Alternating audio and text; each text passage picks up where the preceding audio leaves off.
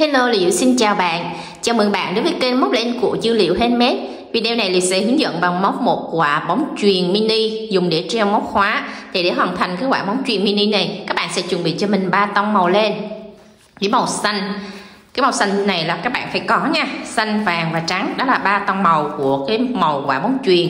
Thì mình sử dụng bằng len miêu bò các bạn có thể chuyển qua len miêu của tông cũng được. Thì kim móc tương ứng chúng ta sẽ chuẩn bị kim hai đầu cán nhựa, đầu 4 trên không. Thì tương ứng với kim 2.5 mm hoặc là 3 mm nó sẽ ra kích cỡ size như vậy nha. Đây, thì mã màu xanh này là mã 29 trắng mã 19 và vàng là mã 04 đó, ba tông màu như vậy các bạn nha.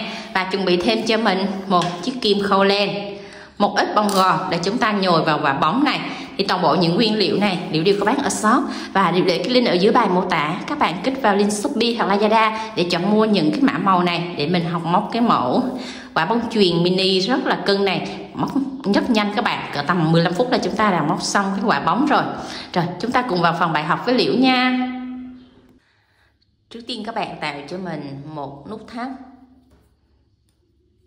Rồi, siết chặt lại và móc lên cho mình mũi móc xích nha các bạn sẽ móc tổng cho mình là 29 mũi móc xích.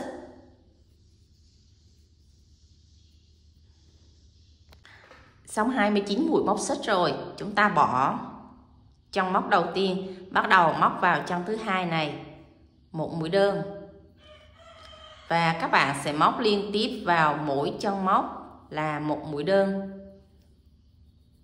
Đó mình sẽ móc đều như vậy và tổng chúng ta có 28 mũi đơn ở hàng thứ nhất nha.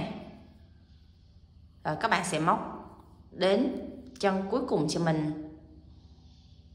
Mình móc đến chân cuối cùng rồi, bắt đầu lên hàng thứ hai. Các bạn móc lên cho mình một mũi móc xích, quay phần len lại và móc vào cái chân đầu tiên chúng ta vừa lên xích đó, một mũi đơn và hàng thứ hai này, các bạn cũng móc liên tiếp là mỗi chân móc một mũi đơn. Vẫn giữ nguyên là 28 chân móc. Rồi các bạn cứ móc tiếp theo như vậy cho đến chân cuối cùng nha. Móc đến chân cuối cùng rồi, bắt đầu các bạn sẽ đổi màu len. Rồi, đưa cho mình cái sợi len màu vàng vào, siết chặt sợi trắng. Bắt đầu chúng ta móc lên một mũi móc xích rồi, tại cái chân mà chúng ta vừa lên xích đó các bạn sẽ móc vào đây, một mũi đơn. Và nẹp luôn hai cái sợi chỉ thừa đi vào trong chân móc. Nhớ là cái đoạn nẹp này, các bạn phải siết chặt cho mình cả hai sợi len mình vừa móc và vừa giấu lên nha, siết chặt hai cái sợi len ngắn này, để cái phần mối nối của mình nó không có bị lộ. Rồi các bạn sẽ móc đều cho mình. Tiếp tục là mỗi chân móc một mũi đơn. Ở 28 chân móc ở hàng thứ ba này chúng ta vẫn móc đều là 28 chân móc. Rồi, móc được một đoạn rồi thì các bạn sẽ cắt bỏ cho mình hai cái sợi len thừa này đi nha. Và chúng ta sẽ bắt đầu móc tiếp cái sợi màu vàng này cho đến chân cuối cùng là chân thứ 28 luôn nha. Rồi, các bạn sẽ móc tiếp cho mình như vậy. Là mỗi chân móc một mũi đơn, đều hết như vậy cho mình nha. Móc đến chân cuối rồi, các bạn sẽ bắt đầu lên một mũi móc xích. Quay phần lên lại, chúng ta móc lên hàng thứ tư. Hàng thứ tư các bạn cũng móc đều cho mình là mỗi trong móc một mũi đơn. Mình vẫn có tổng là 28 mũi đơn, ở 28 chân móc nha. Rồi, các bạn sẽ móc đến chân cuối cùng cho mình ha. Mình đã móc đến chân cuối cùng rồi, chúng ta sẽ bắt đầu đổi sang màu len trắng để mình lên tới hàng thứ năm nha. Rồi cách đổi màu lên cũng tương tự như hàng thứ ba mình vừa hướng dẫn lúc nãy. Đấy, là chúng ta sẽ siết chặt lại và móc lên một mũi móc xích tại cái vị trí này. Các bạn nhớ là siết chặt hai cái sợi len mình vừa nối.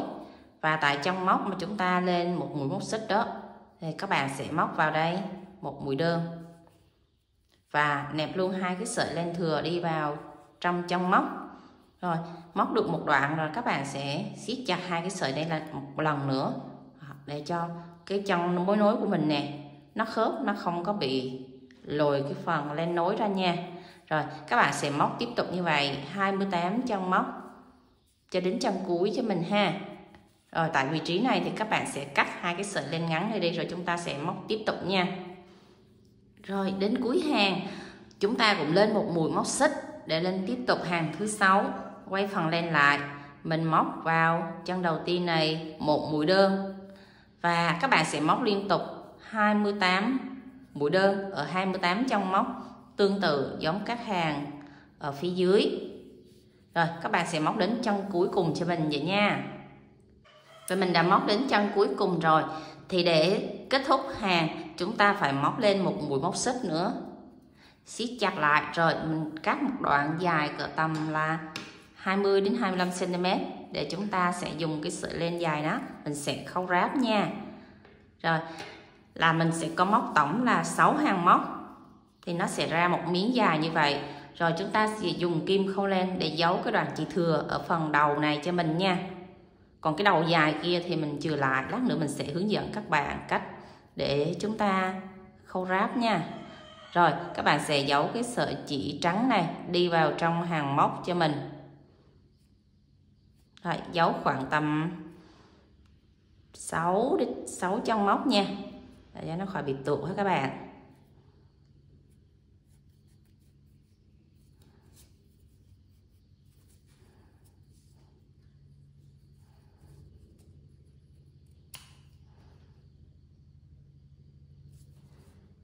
Rồi là các bạn sẽ móc tương tự cho mình thêm hai miếng nữa cũng tương tự công thức như vậy là chúng ta lên 29 mũi móc xích và móc 28 trong móc. Mình sẽ thay đổi màu sắc liên tục để chúng ta có 6 hàng móc. Rồi, thì các bạn sẽ để ý thấy nè, ở đây mình có 3 miếng 3 miếng hình chữ nhật như vậy, thì các bạn sẽ phối màu cho mình là có 3 tông màu thì các bạn sẽ phối làm sao? Ở trong ba miếng này sẽ có tổng là ba hàng móc. Ví dụ như hàng trắng này nè, miếng này có một đường trắng, hai đường trắng và đường trắng này nữa là đường trắng thứ ba. Màu xanh cũng vậy đây, một trắng, một xanh, hai xanh, ba xanh và màu vàng cũng vậy. Là có tổng là ba màu sắc thì các bạn sẽ phối chín hàng đó. Các bạn sẽ phối làm sao cho nó đều đủ ba màu. Đó. Ba bên này, ba bên này và ba bên này phối lại để cho nó thành một cái quả bóng truyền màu sắc cho nó hài hòa đó các bạn nha. Và lưu ý, khi các bạn móc á, luôn luôn các bạn phải chừa một cái sợi len dài ở đầu, một đầu nha. Còn một đầu thì các bạn sẽ giấu sợi len vào. Rồi, chúng ta dùng cái sợi len ở cái đầu dài mình chừa đó. Bắt đầu mình sẽ khâu ráp hai miếng lại với nhau nè. Rồi, các bạn sẽ áp hai miếng này lại và chúng ta sẽ bắt đầu ráp hai miếng này cho nó khớp lại ở hai đầu với nhau nè. Cứ trong móc bên này, các bạn sẽ đâm kim vào trong móc bên kia và khâu cho hai miếng này nó dính lại với nhau. Đó hai mí này thì các bạn sẽ khâu ráp. Như vậy thôi. Đó, nó đơn giản vậy thôi các bạn. Cứ cho kim mép bên này và mép bên kia luồn qua với nhau. Rồi siết chặt lại. Rồi giữa cái phần mà sợi chỉ xanh này thì các bạn vẫn khâu bằng sợi chỉ vàng bình thường nha. Rồi lát nữa mình sẽ hướng dẫn các bạn ta giấu cái phần mà mình khâu này, để nó khỏi bị lộ trong cái vải bóng truyền của mình nè. Rồi khâu đến chân cuối cùng cho mình luôn ha.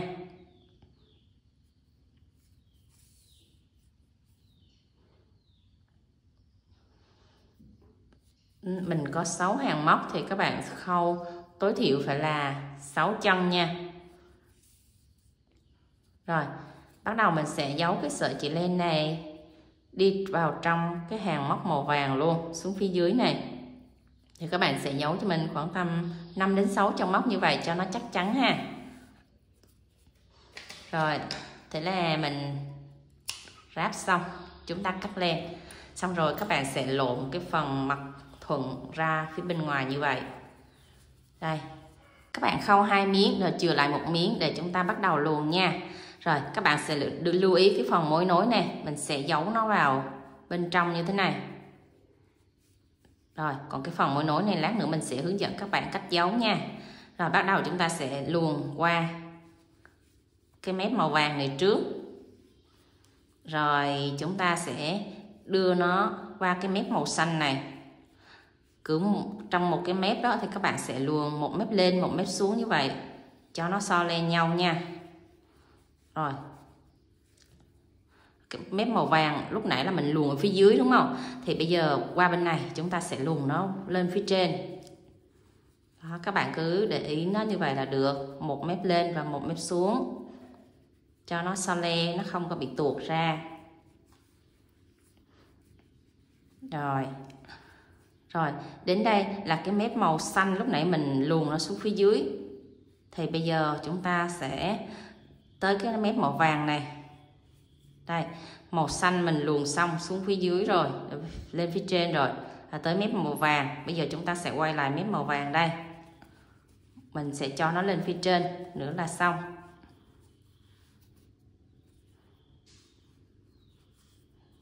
Đó mình sẽ luồn nó so le như vậy các bạn nha. Đó cứ mép dưới. Đây cái màu vàng này là mình luồn cái màu trắng nó là ở mép dưới.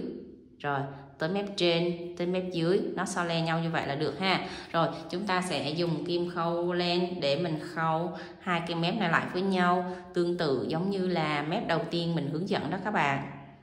Cũng khâu ráp lại với nhau, rồi mình giấu len thế là xong ha.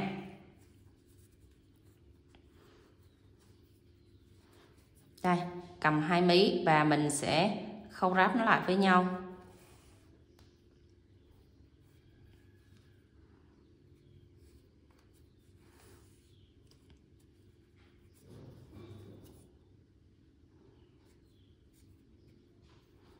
Đó, các bạn cứ khâu như vậy cho đến chân cuối cùng cho mình ha.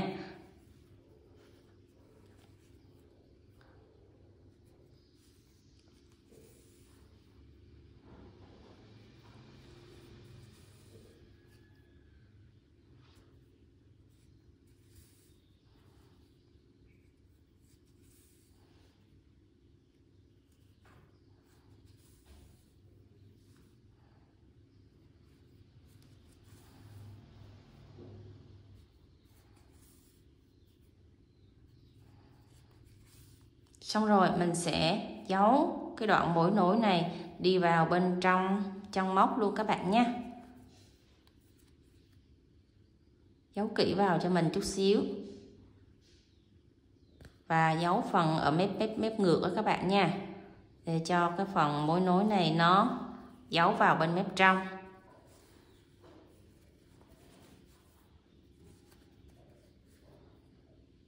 Và giấu xong rồi, mình cắt lên nha. Rồi, tới đoạn này là các bạn sẽ lưu ý cho mình nè. Tất cả các đoạn mối nối này, các bạn sẽ luồn, điều chỉnh làm sao cho nó nằm che vào ở trong tất cả cái hàng móc này cho mình nha. Đó, các bạn sẽ che như vậy ha. Nó sẽ giấu vào bên trong đó. Rồi, đẩy nó qua cho nó bằng. Rồi đến cái đoạn mối nối bên này, các bạn cũng sẽ luồn nó qua để giấu nó vào cho nó thẩm mỹ đó các bạn.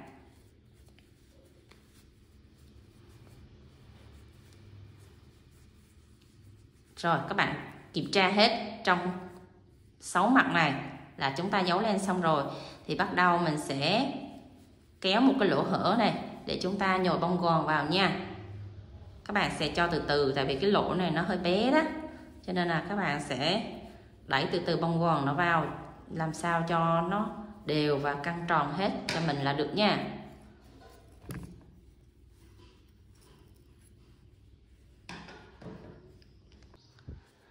Khi nhồi bông xong thì các bạn sẽ canh chỉnh hết tất cả 6 cái mí này để cho tất cả cái phần bông đó, nó nằm hết bên trong nó không có lồi ra ngoài và mình sẽ nắng cho cái quả cầu quả bóng của mình nó tròn lại như thế này nha. Đó nó tròn đều đẹp rồi.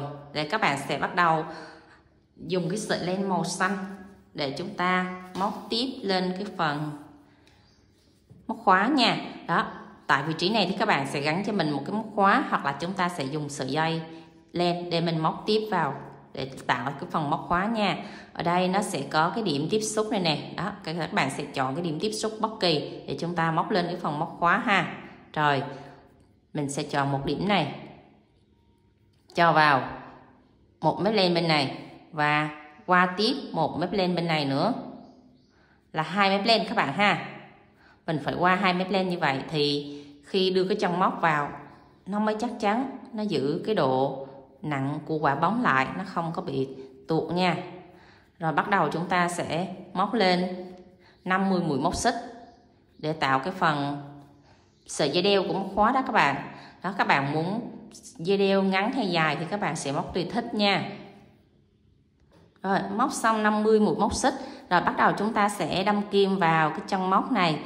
Ở đây là mình đã đâm kim vào hai mép len rồi nha. Thì còn một mép màu xanh còn lại này, các bạn sẽ đâm kim vào một mép xanh này nữa. Để khi mình treo cái móc khóa của mình á, nó sẽ ba móc, ba mí này nó sẽ đứng thẳng lên. Và cái quả bóng của mình nó sẽ tròn nha.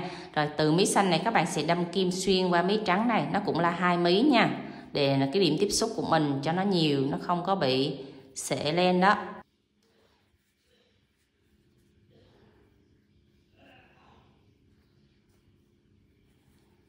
Rồi, móc lên một mũi đơn, siết chặt lại và móc lên cho mình một mũi móc xích nữa.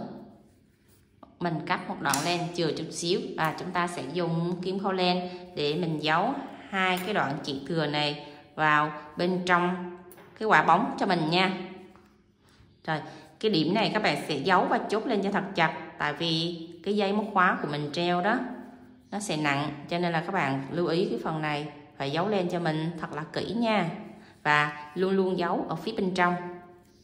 Đây, đó, siết chặt lại và bắt đầu mình sẽ giấu lên, đi vào phía bên trong chân móc. Các bạn nhớ chốt lên cho mình khoảng 1 đến 2 lần. Để cái sợi này mình treo nó nặng á, nó không có bị bung bị tuột nha. Đây chốt lên như vậy rồi các bạn sẽ đẩy cái sợi lên chốt này sát vào và cho nó xuống phía dưới ha. Đó là lưu ý như vậy cho mình. Đấy, kéo nó xuống phía dưới là nó sẽ che xuống cái đoạn ở dưới. Rồi các bạn cứ giấu lên tương tự như vậy đâm xuyên qua khoảng 2 3 mét nữa, rồi mình mới cắt lên ha. Rồi các bạn sẽ giấu tương tự cái sợi bên kia cũng vậy để chúng ta cũng chốt lên cho nó chắc nha. Rồi, sau khi giấu lên xong là chúng ta sẽ có một quả bóng truyền thiệt là đẹp mà móc rất là nhanh các bạn.